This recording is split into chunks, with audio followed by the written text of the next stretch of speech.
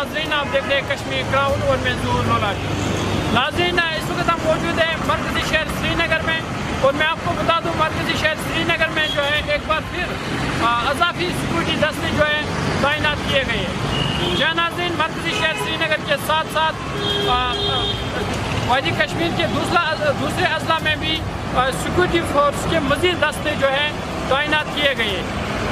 मैं आपको ये भी बताऊँ इन सिक्योरिटी फोर्स को इन दस्तों को जो है मैरिज हाउस में ठहराया गया और आ, सरकारी बिल्डिंगों में भी इनको जो है ठहराया गया। मैं आपको ये भी बता दूँ कि ये मरकजी वजी दाखिला अमित शाह के दौरे के बाद आ, इन मजीद मजीद सिक्योरिटी फोर्स को यहाँ वादी कश्मीर में तैनात किया गया है। तो हमारे नुमाइंदे सबक के लिए हमारे साथ जुट गए। सबक मजीद अफसलात हमें आगाह कीजिए।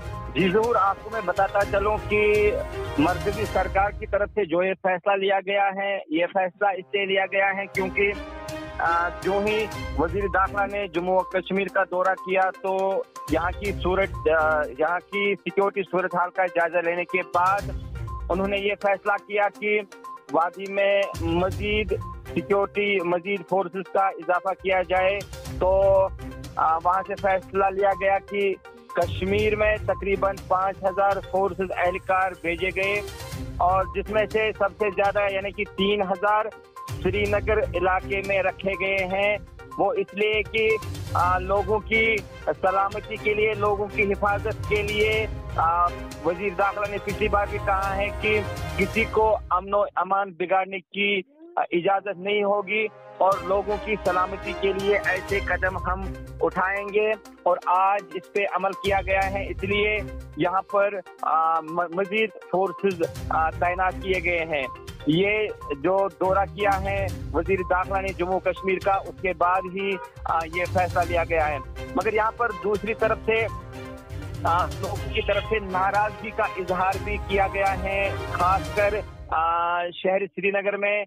क्योंकि शहर श्रीनगर में अगर सरकार सरकारी रिहाइश पर फोर्स को रखा गया है वहाँ पे उन्हें ठहराया गया है। उसके साथ साथ श्रीनगर इलाके में कुछ मैरिज हॉल में भी आ, इन फोर्स को ठहराया गया है जिस पर लोगों ने सख्त नाराज़गी का इजहार किया है।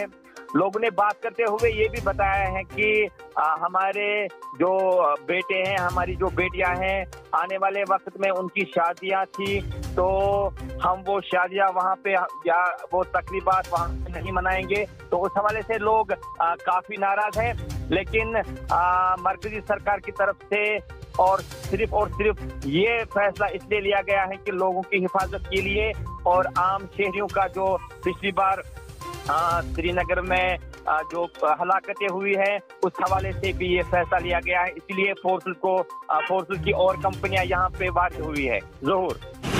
शुक्रिया सबक तो नाजीन जो हमारे नुमाइंदे सबक अली सबक जो हमें तफसलात से आगाह करा रहे थे तो इनका यही कहना था कि मरकजी वजी दाखिला अमित शाह के दौरे के बाद ये फैसला लिया गया है कि वादी कश्मीर में मजीद स्कूटी कंपनियाँ तैनात की गई है।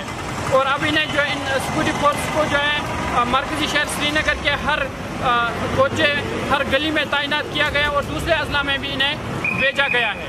आ, मैं आपको बता दूँ आप यहाँ पे भी इस वक्त विजुअल्स के थ्रू देख सकते हैं कि किस तरह सिक्योरिटी फोर्स को यहाँ पे जो है तैनात किया गया है।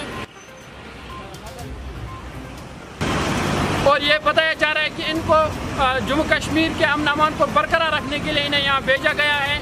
अब देखने वाली बात यह होगी कि जम्मू कश्मीर की सूरत हाल में इससे क्या कुछ बेहतरी आएगी तो हम ये आने वाले वक्त में ही पता चलेगा फ़िलहाल हमें दीजिए इजाज़त कैमरामैन उमर शफी के साथ जूर लोला भी कश्मीर ग्राउंड के लिए Rakib Sir's Excellence Paripura Srinagar offers coaching for 11th 12th Arts and Commerce all subjects with Valley's top faculty on board. Visit Rakib Sir's Excellence Paripura Srinagar. Call on 9622 888 333 9469 888 333.